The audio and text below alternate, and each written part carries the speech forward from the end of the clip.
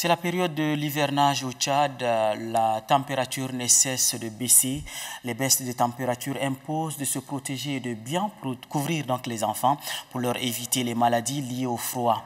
Une de nos équipes est sortie très tôt ce matin pour effectivement apprécier l'atmosphère. Mahamat Omar Moursal. Il est 7 heures du matin. La température affiche 17 degrés. Les parents, chacun selon ses moyens, s'active à déposer son enfant à l'heure. En cette période, tous les enfants portent les habits contre le froid. Il s'agit des blousons, des pulls avec des gants et autres chaussures fermées. Malgré ces habits contre le froid, certains enfants grelottent. Face à cette situation, une attitude s'impose. C'est chaud? Vous avez froid?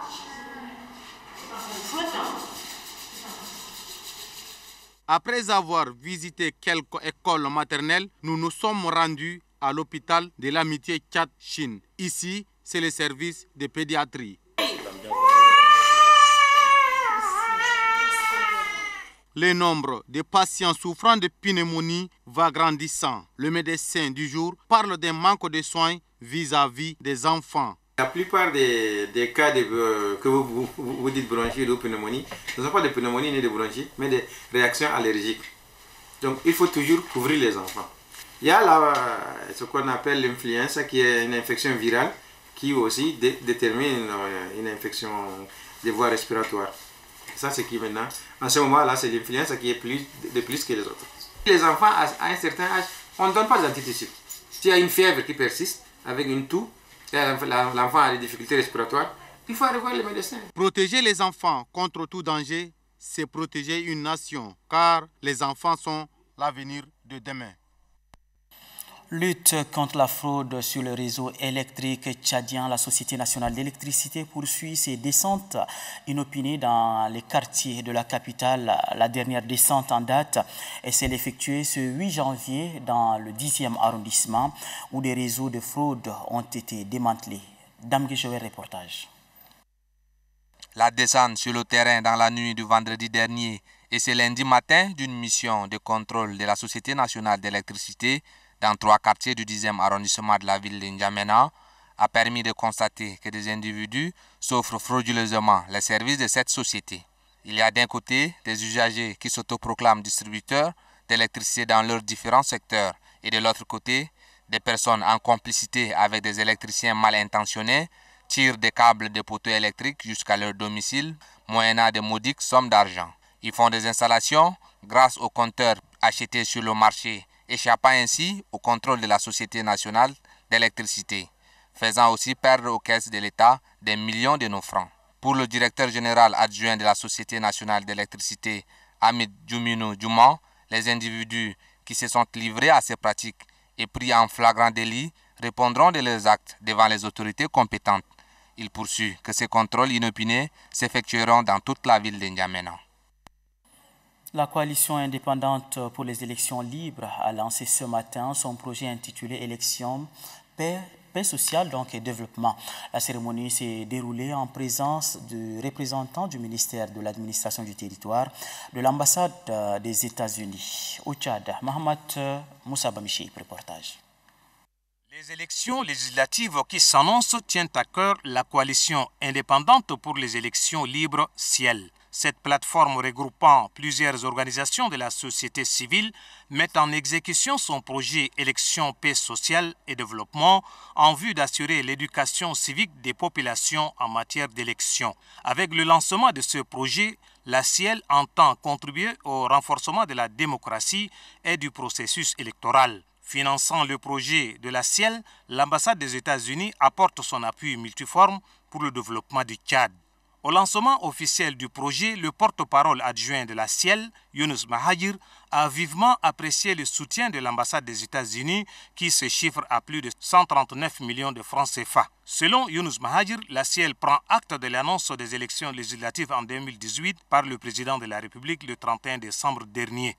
En attendant la date des élections législatives annoncées déjà par le président, une élection peut être qualifiée de réussie que si tous les acteurs, surtout les électeurs, sont informés sur leur rôle, leurs droits et devoirs électoraux le mode de scrutin, le choix des candidats, d'où l'importance de l'éducation civique, électorale et information aux électeurs.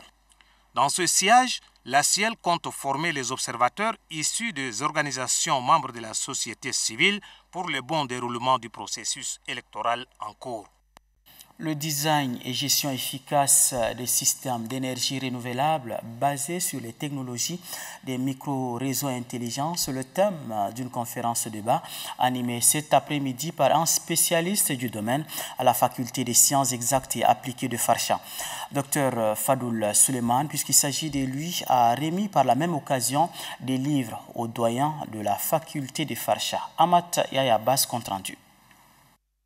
Face aux étudiants de la faculté des sciences exactes et appliquées de Farsha, ingénieur tchadien venu du Canada, Fadoul Suleiman Tudjani. Il est docteur en énergie renouvelable spécialisé dans le domaine d'énergie intelligente qui vise à optimiser les systèmes hybrides, incluant le solaire éolien, générateur à gaz. Le concept du docteur Fadoul est destiné pour les zones rurales et urbaines. Par une démonstration faite au public, l'inventeur rassure que l'utilisation de l'énergie éolienne et solaire est possible indépendamment du réseau d'électricité. Pour Dr Fadoul Suleiman, les énergies renouvelables sont des alternatives face au changement climatique et contribuent au développement durable. Pour joindre l'acte à la parole, des documents d'information ont été remis au doyen de la faculté de Farsha. Son approche dans le domaine des énergies renouvelables et ces concepts ont été récompensés plusieurs fois au Canada. Il faut rappeler que Fadoul Youssouf est un chercheur à l'Université du Québec au laboratoire groupe de recherche en électronique de puissance et commande industrielle. Sachez que la commune du 5e arrondissement a un nouveau terrain de football euh, de maintenance. Il s'agit d'un mini-terrain de football situé au quartier d'Iguel. C'est le maire de la commune, Mohamed Saleh Moussa, qui a inauguré l'infrastructure. Mohamed Oumar.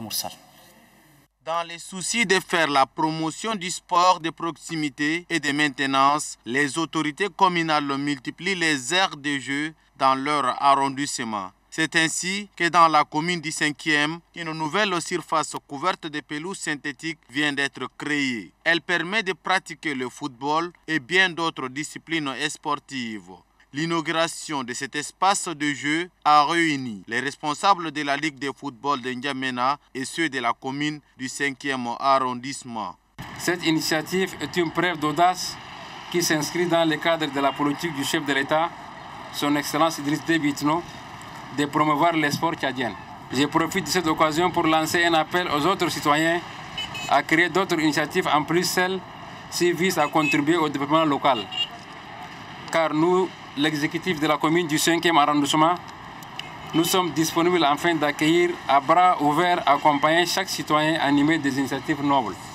Pour tester la qualité des pelouses synthétiques de ces mini-terrains, un match d'exhibition a été livré par le jeune footballeur du 5e arrondissement. L'annoncer en titre la hausse des prix de l'essence et, du gazole à la, à la, pompe. Les automobilistes et les motocyclistes tchadiens décrit la situation. L'essence qui était à 523 francs est passée à 570 francs CFA, soit une différence de 47 francs CFA. Le gazole qui était de 568 francs est monté à 590 francs, soit une différence de 44 francs. Les consommateurs surpris par cette euh, augmentation ne semblent pas cacher leur euh, désarroi. Nous y reviendrons dans nos prochaines éditions de journal. Sur cette euh, information que nous nous arrêtons là, on se retrouve demain.